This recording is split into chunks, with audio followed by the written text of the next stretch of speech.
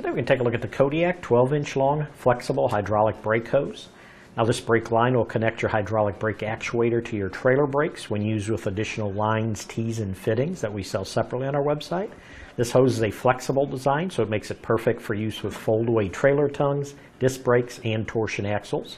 If you notice on the ends of each of these, they have these stainless steel flares, helps resist corrosion, and they're a lot stronger than brass to reduce splitting.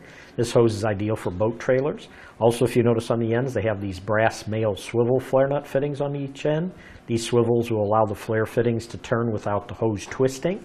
And if you notice when you put it up there to tighten it down, it has an open area right here. This will let you use a brake line wrench for better grip. It'll minimize the risk of stripping the threads. And if you notice, the fittings do have deep threads, which helps improve the connection to help prevent leaks.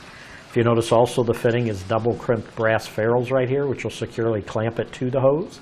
And the rubber hose does meet the DOT, Department of Transportation, and SAE standards. Now the total hose length end to end, including the fittings, if we lay a ruler down here, go end to end, you can see right at 12 inches long. The inner diameter on the hose is 1 8 of an inch, and the fitting size is 3 16ths of an inch. Thread size is 3 8 inch by 24. But that should do it for the review on the Kodiak 12 inch long flexible hydraulic brake hose.